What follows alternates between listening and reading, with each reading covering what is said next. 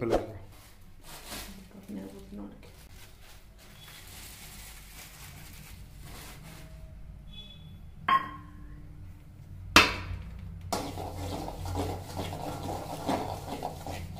video